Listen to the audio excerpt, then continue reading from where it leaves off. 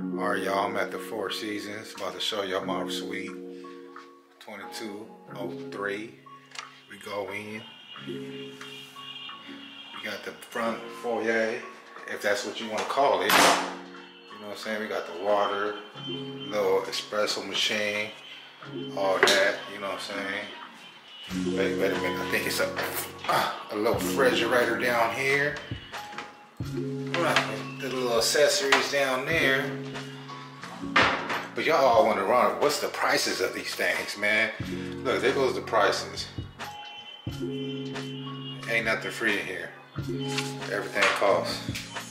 So we can step to the side. Got this area, little little closet, closet area right there. I guess this was could be considered the guest guest bathroom. Big ass oversized toilet right there. It's a big boy right there, damn. But why is it sitting so low? Who knows?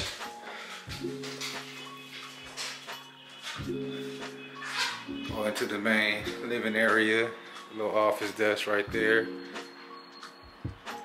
TV, couch. We got the fruit. We got the balcony. Come out here, chill, relax. Lay out right there. Got the beautiful view.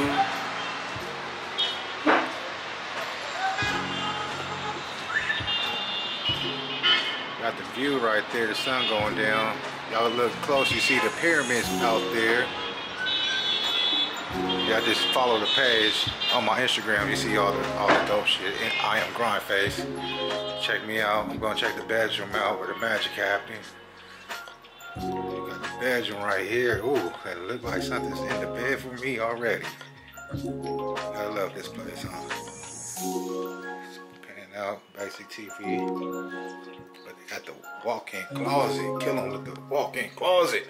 Look, we walk in, and you turn around.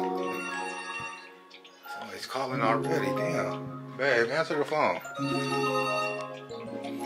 You got the bathroom over here. Hold on. Shower tub, basic bathroom. And we got the two toilet seats. So that's basically the suite out here.